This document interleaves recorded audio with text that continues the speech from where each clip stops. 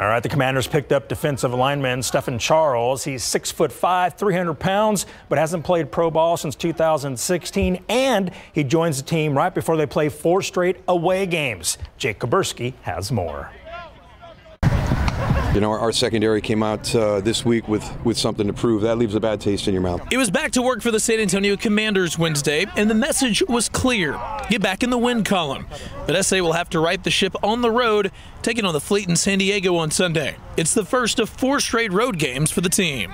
This is going to be interesting. Uh, it, it, it's not easy. Um, we are all creatures of habit. We like our routine, and, and we're going to have a different routine. I guess the good part of that, right? You'll have that same routine for four weeks, but um, you know, it, it's it's going to be interesting to see how this team responds. The challenge will be facing the Fleet for the second time in only three weeks.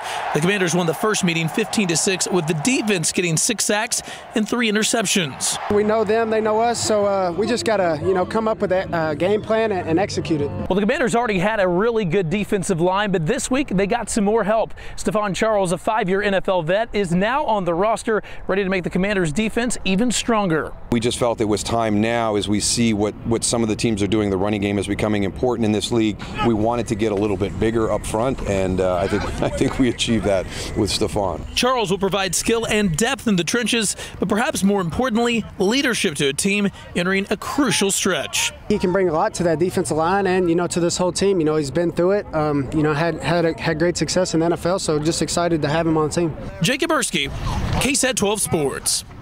And San Diego will host the Commanders Sunday night at 7. Both teams are 1 and 1.